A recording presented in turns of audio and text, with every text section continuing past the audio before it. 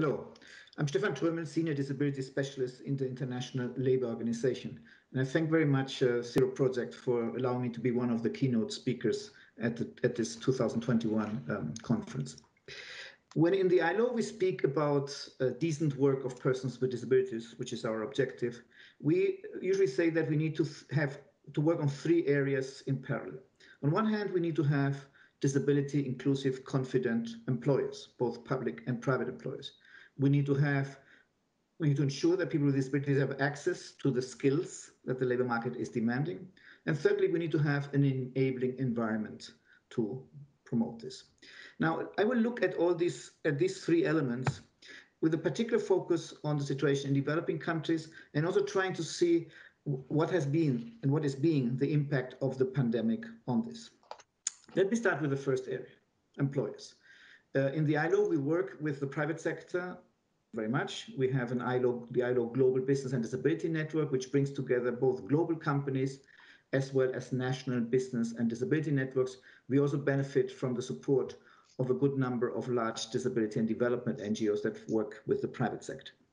Last year, in uh, end of November, we had a conference, our annual conference. It was a virtual conference this time, and we issued a declaration reaffirming the corporate commitment to disability inclusion in times of a pandemic. We also saw uh, an increase in our membership. We had six new global companies joining our network. We saw the establishment of two new national business and disability networks in Kenya and, Nigeria. We saw very active um, uh, work within uh, existing networks, like the one in Indonesia, which was reactivated a great example coming from India, where they came up with a publication on good practices of companies in context of the pandemic. The Chinese network con continued to be very active, etc., etc. So a lot of good news within that specific um, context. I think nowadays it's fair to say that the business case for employing persons with disabilities is confirmed. Uh, it's not yet shared with everybody, but I don't think, um, I think we have enough evidence to prove that it's good for companies to employ persons with disabilities. It's good for their innovation, it's good for their reputation, they have better products and services, better able to, to cater for the needs of consumers with disabilities, and many other things, staff motivation, etc., etc. We also are not short of know-how. There are a lot of resources on different web pages, including our own ILO GBDN webpage, resources that can help employers to see how to engage uh, persons with disabilities, resources on workplace accommodation, on uh, how to establish an internship program, issues around uh, digital accessibility, and many other tools are already there available for employers and other organizations who want to promote the employment of persons with disabilities. We also saw, we also see very, very importantly, from an ILO perspective, an increased interest among trade unions to put the to put disability inclusion on their mainstream agenda. In particular, in the Latin American region, we have seen a lot of initiatives. Also, also in this year, last year, even in the current context of the pandemic, we have seen a lot of trade union interest um, to the situation of persons with disabilities and workers with disabilities. We see an increasing um, interest also among public employers, and we are in contact with uh, some partners, particular government of Canada, New York City, uh, the Irish government, to see whether we can formalize that interest through the establishment of, um, of a network of public sector employers committed to persons with disabilities. We also see, and we have been supporting, and others have been supporting, that there are more and more organizations of persons with disabilities, OPDs, um, also in the developing country context, that are um, better prepared to become not only not only to do their advocacy work, which they've already been doing for many years and very often very successfully, but also to engage in a more sort of partnership relationship with the private sector, which is, in my view at least, what what what is needed in order to to promote the employment of persons with disabilities in the private sector. But it would apply equally to the to the public sector. So a lot of good news uh, within that uh, sphere. Uh, we've also seen the development of other global initiatives, and I would in particular highlight two with which we have uh, engaged in close collaboration, and we we are proud to be partners of these initiatives. We have the Valuable 500 campaign, which has also been um, presented um, by its founder Caroline Casey at the Zero Project Conference. Um, and we have also we were also very proud last year in, on the 3rd of December to support the campaign that every year is led by the PurpleSpace uh, Initiative. Initiative brings together the different employee resource groups that exists on disability, in particular uh, among many global companies. So if you would only be looking at this, it seems that well, last year has not been a bad year, as that even in, in that very specific, complicated context. But at the same time, it's fair to say that there continue to be a lot of challenges also in this context. When we speak with organizations of persons with disabilities, especially in a developing country context, but not only, they often tell us, yeah, yeah, we have seen that this, I will not give any name, but this specific company is a, is a member of the ILO Global Business and Disability Network. It's also a member of Value 500. But in the work that they do in our country, they pay no interest at all, they pay no attention at all to persons with disabilities. And very often that will be the case. And we know that. We know in our interaction with global companies, they often share with us that they have a challenge. And we as an, as an ILO, we, we know how challenging it is to make sure that you're not only disability inclusive in what you do in your headquarters, but also what you do throughout your global presence. And that is, I think, the big challenge we have. We need to ensure that global companies that are committed to the employment of persons with disabilities, and there are more and more, like those that have now subscribed also to Value 500, that we can find a way to help them to make sure that they are disability inclusive throughout their global presence.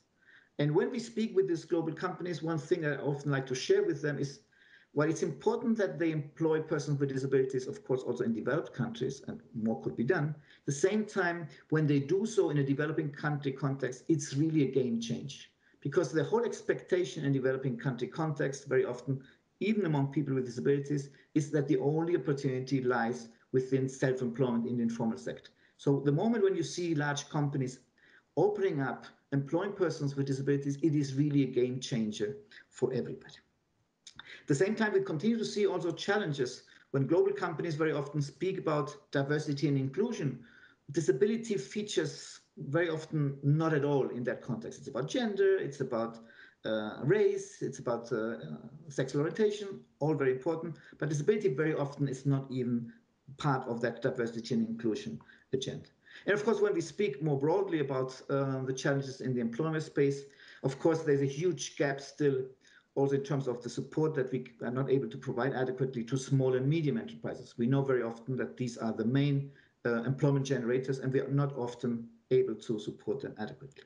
So this is the first area on which I have focused uh, quite significantly because we do a lot of work with the private sector. The second area is to ensure that persons with disabilities have the skills that the labor market is demanding. And that of course means education, it means uh, university, it means vocational training, and we see that there are still many barriers in that context. Uh, when we just focus for a moment on, on the need for digital skills, which seems to be one of the key messages now um, that also was already there in all the discussions around the future of work, but especially now the pandemic has accelerated the need for everybody to have digital skills. And that, of course, also applies to persons with disabilities, who, as you know, often will start with, uh, with, with, a, with a disadvantage because of the digital gaps that they were often, often facing. I will not um, speak too much about this issue because just yesterday, also within this conference, we launched a publication on the inclusion of persons with disabilities in the digital economy. And we highlighted the different areas that require work, digital skills, ensuring that people with disabilities have access to digital skills is a key element of that publication. And many of the recommendations we're doing there would also be relevant more generally when we look at other skills. Think, for instance, about uh, climate change jobs, which are also hopefully on the rise. We, again, to ensure that people with disabilities get their fair share of these new jobs, we need to ensure that they have access to the different skills um, initiatives that are there in those areas. The third element, as you will remember, is the enabling environment. And I think the pandemic there has shown something we already knew, but I think it has put even more visible the shortcomings that we still have in this specific area. We often have not enough good enough legislation, often perhaps referring to reasonable, accommodation, but not explaining how that is implemented in practice. We have very often social protection that is not that is clearly insufficient for the needs of persons with disabilities and their extra costs, but also very often designed in a way that it, not, it does not promote uh, employment. We have insufficient um, job placement, job mediation services. We have now seen some digital platforms that have been, have been established targeting persons with disabilities, good initiatives, but definitely not enough. Very often we don't have good statistics, although we know how to um, obtain dis uh, disability disaggregated statistics, but we're often not doing them. So we have seen it also in the current context, often countries that have been collecting information, statistics on the impact of COVID-19, disability has not featured. So we have not been able to obtain the, the statistics on the impact of person on persons with disabilities of the pandemic. Our key message from the ILO has been from the outset of the pandemic, and it continues to be a relevant and important message that disability inclusion needs to be part and parcel of the mainstream response to the socioeconomic impact that the crisis is having. And we feel that this is not yet dealt uh, with in, in, an adequate and sufficient way. Now, so our, our key message, my key message also at now the end of my keynote speech is really it's a message to all of us. We all need to make sure that this building back better commitment that is coming from um, from from the UN and from other stakeholders, this building back better needs to be disability inclusive. As the Director General from the ILO said uh, very very clearly and very well in a video that we launched um, last year, a disability inclusive response to the crisis is a better response to all. Thank you very much again for having me and all the best to you all. Goodbye. Thank you, Stefan. Um, it's hard not to be clapping and waving. Um, I want to bring uh, Yetnebersh in to have a conversation, just a few questions um, before we go to Vlad, who's joined us. Vladimir Cuk, hi, Vlad. Um, but before we do that, I want to bring Yetnebersh in because I think, Stefan, something you said really kind of captures that the employment of people with disabilities in the developing world is the game changer. I mean, you said that twice. That's where we can see see real system change. And so I think there's nobody better to speak to than Yetnebersh, who has lived experience, who is from Ethiopia, who's a lawyer, who is one of the founders of Light for the World uh, Women's Awards, who is senior manager for GLAD. And I just have to say, Yetnebersh, before you speak, I remember meeting you at the Inclusion Summit. Was it in Bangalore? and hearing you speak, and you just blew me away. Um, and I think you just have such a myriad of experience to bring to this conversation. So, do you agree with Stefan that that the game changer is the employment in the developing countries, and what is happening, and is it changing?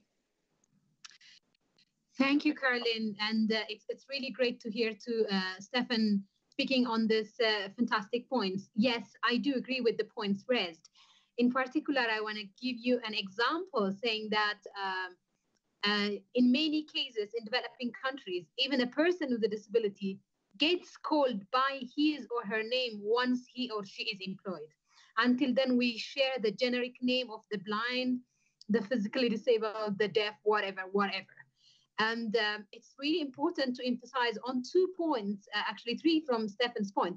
The first thing is that making sure that global level commitments cascade down to the grassroots level lives. I fully agree with Stefan that companies like IBM, Coca-Cola, whatsoever, whosoever, or the 500 that you have in the valuable 500 may commit to remain inclusive globally. But what really matters is are they really inclusive on the grassroots?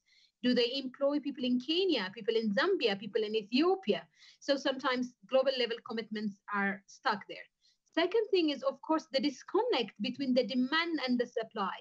We in the Global Action on Disability GLAD network always get a request to pass on advertisements, uh, vacancy announcements to persons with disabilities. And we see employers struggling to get the right suiting candidate to the disability.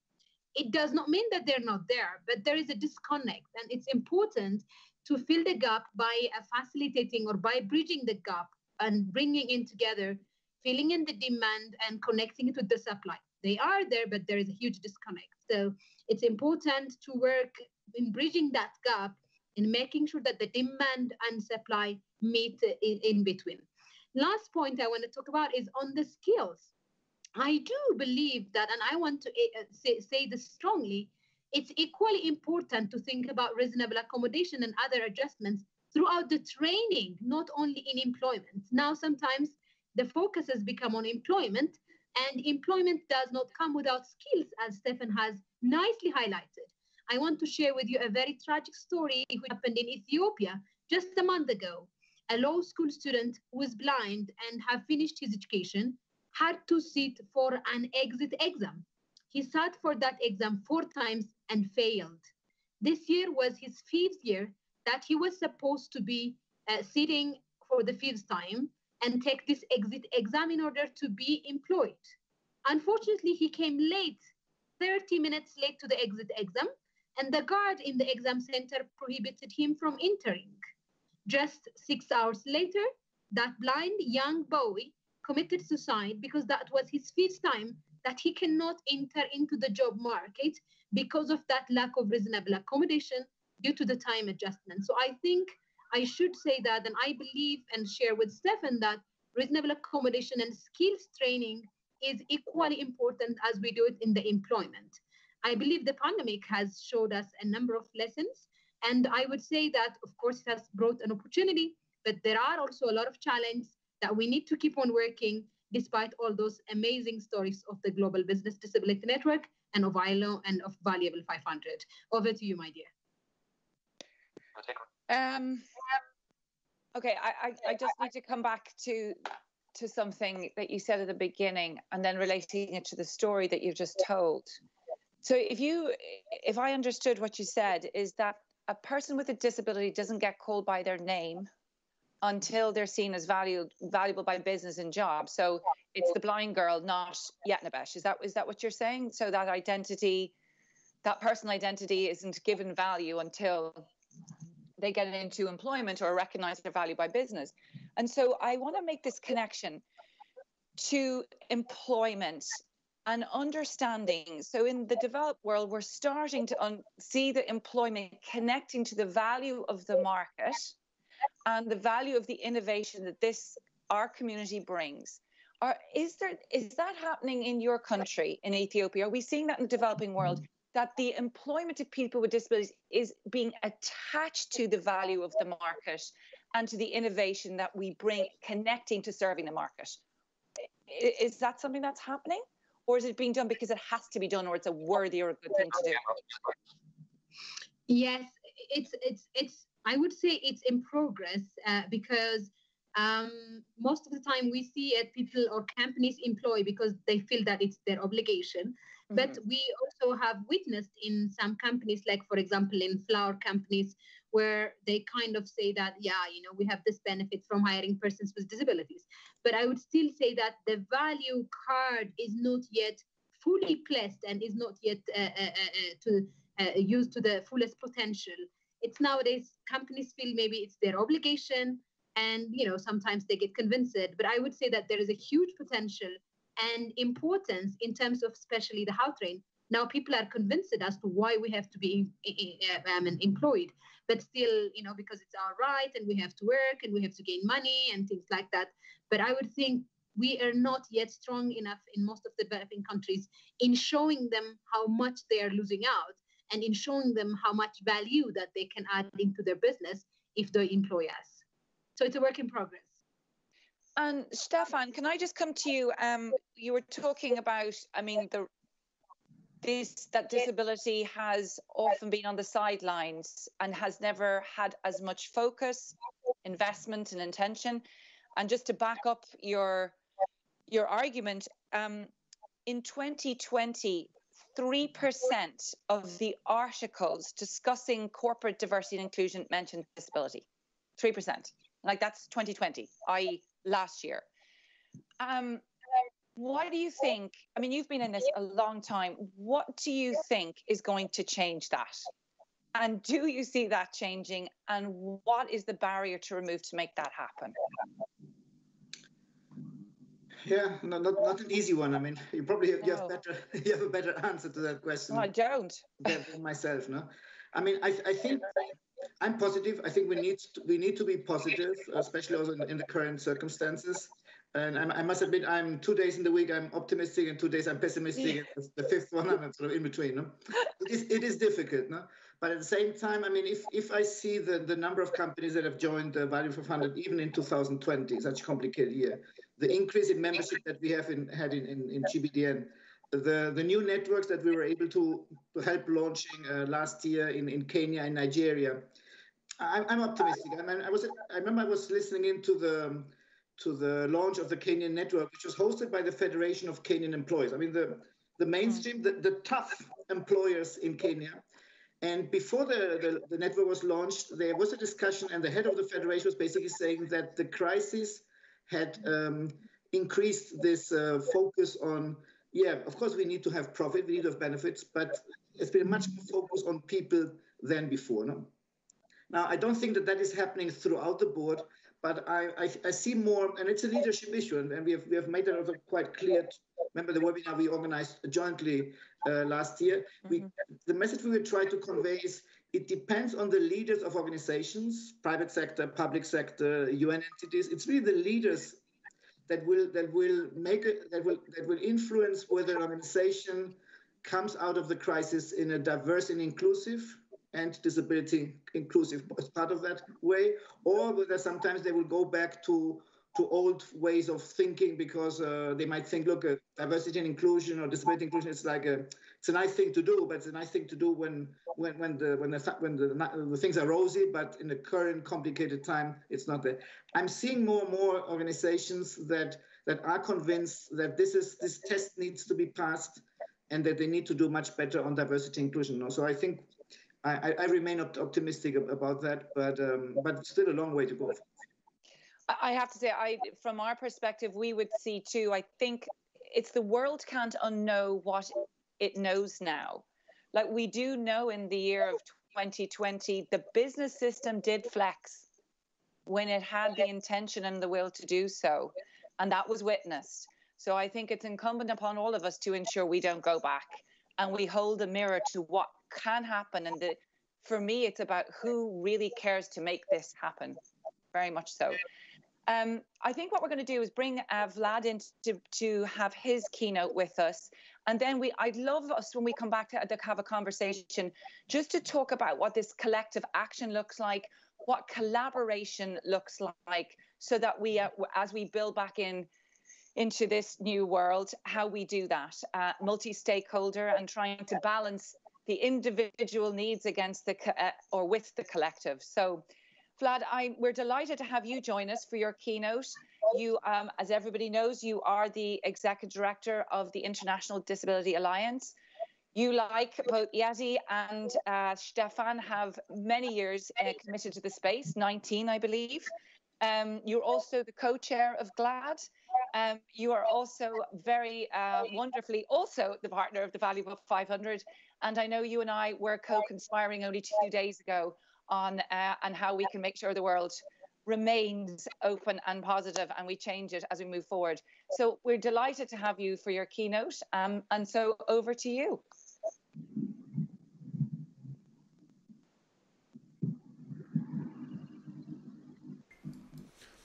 Good morning. My name is Vladimir Cuk and I am Executive Director of the International Disability Alliance. It is my greatest pleasure to present today on inclusive employment and ICTs. Globally, there is a growing focus on inclusive employment for persons with disabilities, and this conference speaks in that favor. For example, at the Global Disability Summit in 2018, there were 97 commitments on, on economic empowerment thanks to this growing focus and donor donor interest, the discourse on inclusive employment is moving from Uh, from only looking at why to include persons with disabilities to now discuss how to frame inclusive practices and remove systematic barriers so that inclusion is achieved in the true sense of its term. Available data from before COVID-19 pandemic shows that persons with disabilities face significant exclusion from the formal labor market and are more likely to be in the informal sector. Simultaneously, lower rates of employment have been persistently observed for persons with disabilities. It is now 14 years since the UN Convention on the Rights of Persons with Disabilities was adopted, and five since, since the Agenda 2030, with Goal 8 focusing on full and productive employment and decent work for all. Speaking ab about ICTs, accessibility is one of the CRPD principles as well as a, a, a prior, prioritized in the CRPD article number 9. While the CRPD committee in its general comment number 2 on, on accessibility and international cooperation clearly articulates the need of using international cooperation as a tool to promote accessibility for all. Along with the government obligations established under the CRPD Convention, Agenda 2030 presents connection between accessible ICT and its goals, in particular, Goal 9 on, on, on industry innovation and infrastructure. It is a good time to review today the successes we have achieved and the gaps in terms of fulfilling SDG 8 in line with Article 27 of CRPD. IDA's experience in working on inclusive employment particularly shows that there is, there is, uh, there is urgent need to clarify between inclusive employment and CRPD compliant inclusive employment. We believe that in inclusive em employment focuses on getting people with disability into jobs, while CRPD compliant inclusive employment would require us to take a more holistic approach to transform labor markets uh, leading to the removal of barriers to employment and fundamentally shifting the way that businesses conduct recruitment, support their employees, and create inclusive environment for all people with disabilities. Uh, International Di uh, Disability Alliance work on employment is trying to frame CRPD compliant approaches and ensure that persons with disabilities and their representative organizations are integral part of all efforts to create inclusive workplaces. We have noticed that there is still very limited understanding of the principles of the CRPD and how they translate into formal labor markets. Concepts such as universal design and reasonable accommodation, non-discrimination, etc., are still not embraced. It is important to understand that employment for persons with disabilities does not happen in isolation. It is intrinsically linked to education, accessibility, and the availability of laws and policies that protect the right of persons with disabilities to access opportunities on an equal basis with others. The need to put CRPD at the core of how we look at employment and accessibility for persons with disabilities holds even more significance now that the world continues to grapple with the, with the impact of the COVID-19 pandemic. The sudden lockdown and the downturn in the global economy have even greater ramifications for persons with disabilities, particularly as they faced significant exclusions and barriers even before pandemic hit. People with disabilities already were less likely to be employment. Now, they are, they are also at a greater risk of losing their jobs. The Disability Rights Monitor on COVID-19 a survey undertaken by six organizations, including IDA, indicated a worrying conclusion that states have overwhelmingly failed to take sufficient measures to protect the rights of persons with disabilities in their responses to the pandemic. International study implemented by ADD on the impact of COVID-19 shows that uh, respondents reported losing 65% of their income since the COVID-19 crisis began. Similarly, another study by European Disability Forum shows that in, in Kenya, 68% of persons with disabilities surveyed were not able to work. The pandemic has, had also, has also led to a stronger focus on the use of technology in employment, um, amongst in many other things. Information and communication technologies are rapidly modifying the way people interact, work, travel, and communicate both at home and in their communities. While technology has been a game changer, in many cases it, it also stands to deepen existing inequalities in terms of availability, affordability, and accessibility to online platform and assistive technology. In our experience, uh, we, we, we have shown how certain groups, such as people who have deaf blindness, are finding it harder uh, uh to access online activities. More generally, with or without pandemic, persons with disabilities are facing enormous gaps in accessing technology. Let me list a few of them here. Lack of awareness and training on assistive technology. Uh, absence of policies that provide access to accessible ICT. Excessive cost of assistive devices, especially in Global South. Lack of universally designed ICT tools. And important for, for this conversation, uh, those that are, uh, um, um, among other things, pre pre preventing persons with disabilities from accessing to financial services as a way of getting uh, themselves out of poverty. Universal design standards as well as guidance on accessible ICT are yet very limited and rarely present in policies and programs. Even within this adversity, we do have an opportunity to start an open discussion on some of the fundamental shifts needed to realize the right to decent work for all and create truly diverse workplace and accessible societies. If we want to build back a truly inclusive workplace, reflecting the diversity within the disability movement and intersectionality with other kinds, of margin, marginalization as well, we need to embed the principle of non-discrimination across all our work, create support services and social protection measures that enable people to not just access jobs, but also retain them, invest in strengthening the disability movement and organizations of persons with disabilities. So they are at the center of this transformation and disability inclusive transition. And finally, a few additional uh, recommendations about access accessible technologies. International standards must incorporate accessible features and be implemented and licensed to all organizations. Promote universal design approach to policymakers, developers, urban planners, etc. Ensure meaningful participation, once again, of persons with disabilities and their representative, representative organizations. And, and last recommendation, invest in emerging technologies such as artificial intelligence, robotics, smart environments, etc.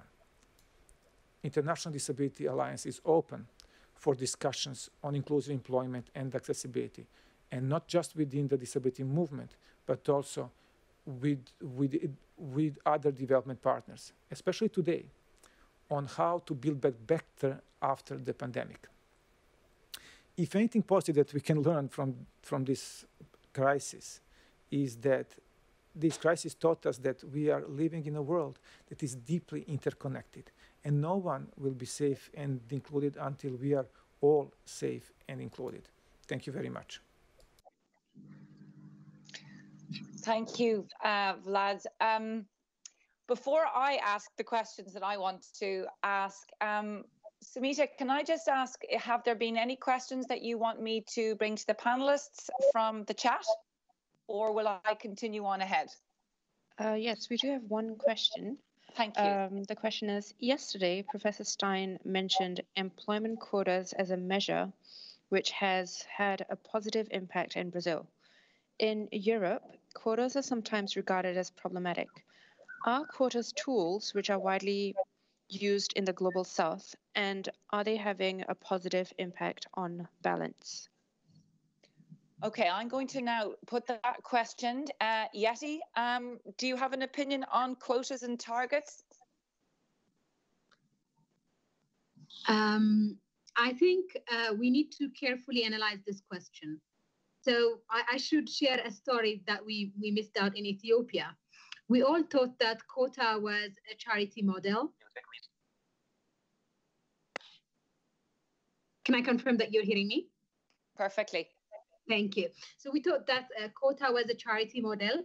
So we advocated for a merit-based employment, and we uh, managed to abolish the quota system in Ethiopia. But uh, I, I, do understand, especially thinking back uh, nearly uh, 14 years back, um, I really see that we were wrong. And uh, learning from a number of experiences in Chile, also here in Kenya, as well as in Nigeria, we have seen that quota works very well as long as it's managed very well. So um, there are countries, quite a couple of countries in the global south, I don't have the exact data, that are implementing quotas, uh, but uh, they are necessary, but they're not sufficient. Quotas need to be uh, supplemented with other measures ensuring equality and ensuring diversity. So in some instances, just people take to fill up the quota quite low positions and only some group of persons with disabilities, but they're not inclusive. So I would say that quotas are important and necessary, but they're not sufficient and they need to be complemented. But there are countries both in Africa as well as in Latin America where quotas have played a significant role in terms of increasing the number of employees with disabilities in the labor market. Thanks, Yeti. You know, I, I'm kind of on, I'm there. I used to be completely against quotas and targets, and I think I'm really starting to to change my perspective as well on that. Um, Stefan Vlad, what, where are you both on, on this issue about targets and quota? Yeah, if I can come in, uh, Caroline. I mean, yeah. um, I fully agree with what Yeti has said. Um, I, I, can understand, I can see the, the negative uh, um, uh, implications of, of quotas. But uh, all in all, um, I think uh, quotas can make a contribution, especially also in the developing country context, where sometimes if you don't have a quota, you, you can't even engage with the employers, public or private, on this discussion. Now, what we see in, in most countries is very badly designed quotas, either with no enforcement mechanism at all, or with an enforcement mechanism that establishes such a high fine for non-compliance that companies decide to put people with disabilities on their payroll but ask them to stay at home. And we've seen that in a number of countries in, in different regions.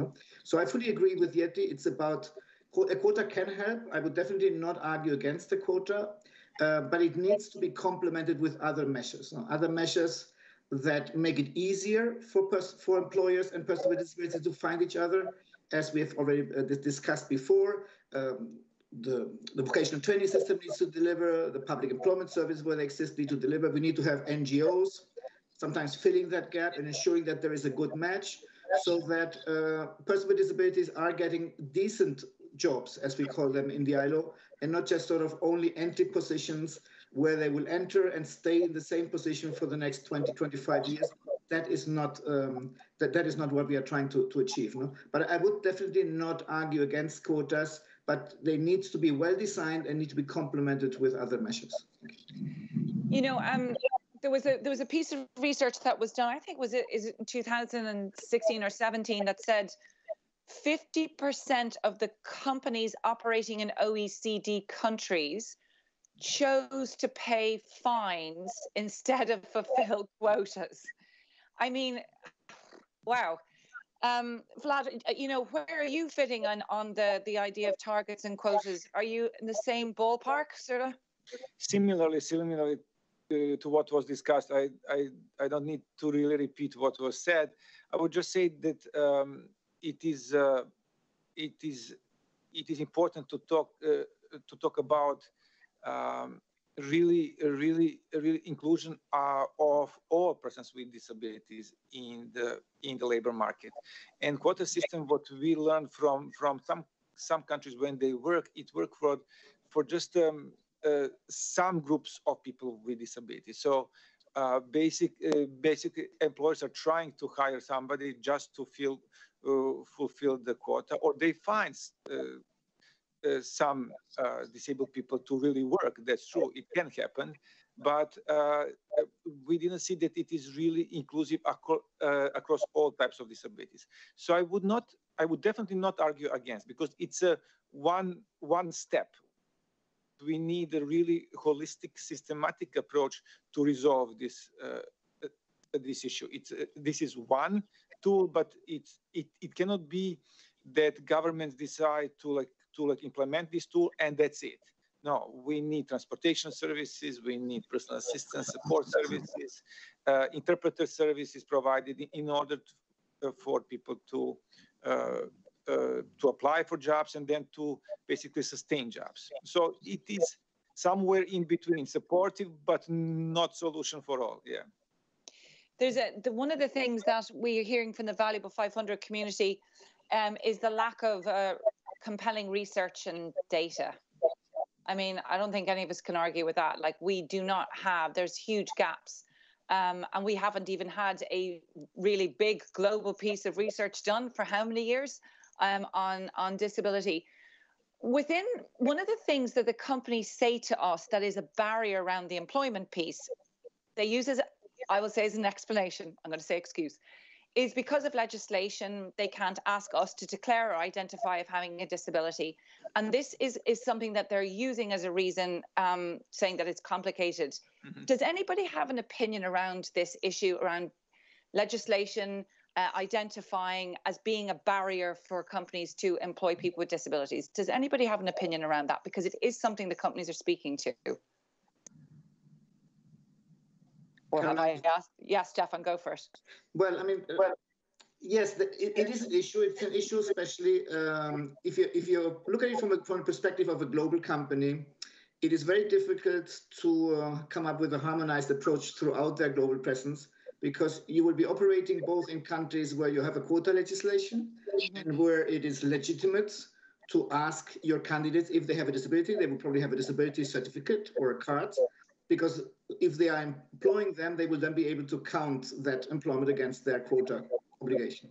Now, if that same company works in a context where um, where you have anti-discrimination legislation but no quota obligation, in many contexts um, that you people might will you, you are not allowed even to ask mm-hmm. from a confidentiality and privacy point of view whether a person has a disability. You should be asking whether a person requires a reasonable accommodation, mm-hmm. and you can if you communicate well, and that is our recommendation, if you communicate well and explain why you're asking it, you can, in a staff survey, ask uh, the, the respondents to self-identify as a person with disability. But you need to explain it well. It's not you being nosy and trying to find out what sort of condition the person has, but you can explain that you as a company want to see whether you are doing better over time.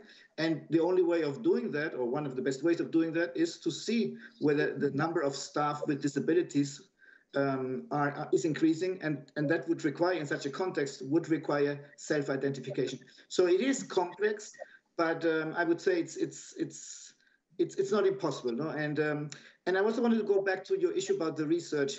I mean, yes, research is always good, but I still think that we have enough knowledge. I mean, we've never had so much knowledge from companies that are already employing persons with disabilities on on why they're doing it and and, and, and how they're doing it. So I think mm-hmm. uh, if, if, if other companies come in and say we need more research, I would say, well, why don't you speak with your peers and learn from them? No? And, and going back to what Yeti said before, we have a lot of global companies which are struggling to um, be consistent on disability inclusion throughout their global presence. And, and it's challenging, but I think we, we need to work together with them to um, not only to hold them accountable, sometimes yes, but also to support them so that they're not only doing a good job in the US or in the UK or, or in Spain, but also in Ethiopia, also in Madagascar, also in Egypt, also in, in Brazil. No? I think we have we have the the tools to do that, but I think we need to engage uh, in that uh, much more proactively. Thank you. I want to come back to you on that because I think that is is probably the most important issue that what we're looking for is our companies to have the intention and the values and the commitment to getting this right, but their expression of it will not be uniform across the globe. Another piece of feedback our companies are, are, are saying is okay, their, their greatest thing is we're not doing enough.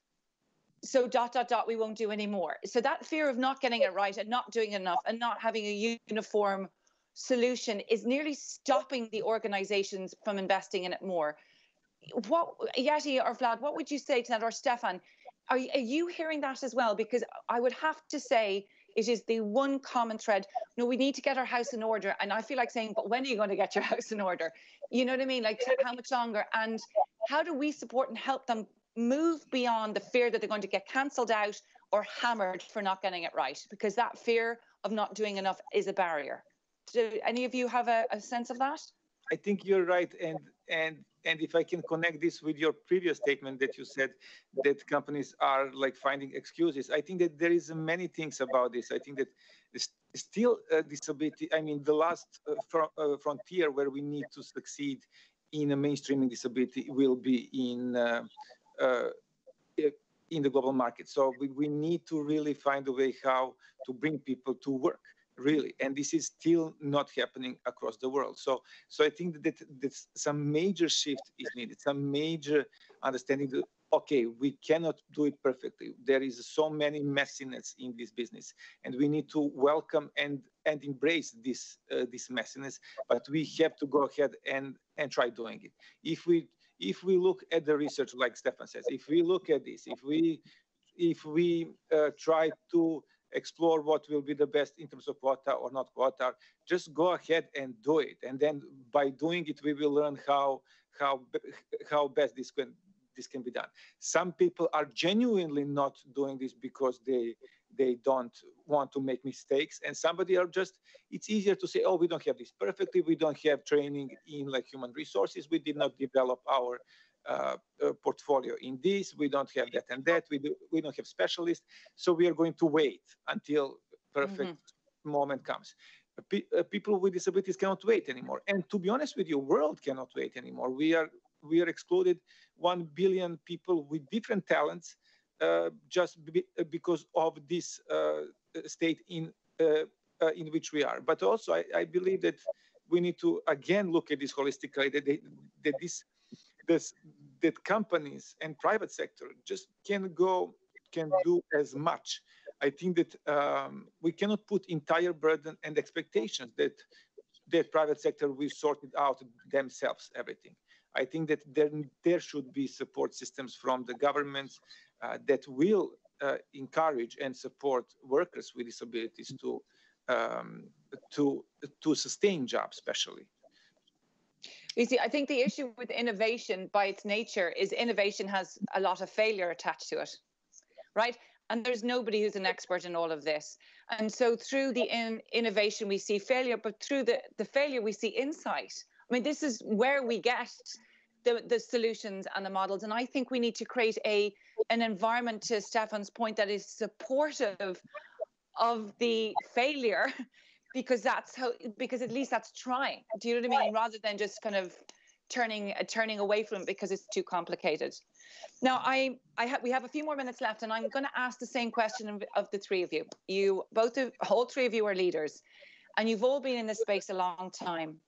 Um, and i'm not going to ask you a personal question um, because i think anybody listening here wants to hear what you personally feel like. You've been doing this a long time. Can you just say to tell me the disability community traditionally ha- would have been seen as not being as collaborative as we could, or maybe there was more space for this collective collaboration moving forward. We've heard words like intersectionality and interdependency and interconnectedness. Can I ask each of you um, and end on the positive one? What is your greatest frustration or barrier? And then what is your greatest hope in the next year for that collective collaboration in building back better. Because end on the positive, but also let's call out what's frustrating you or the thing that you'd like to see get rid of.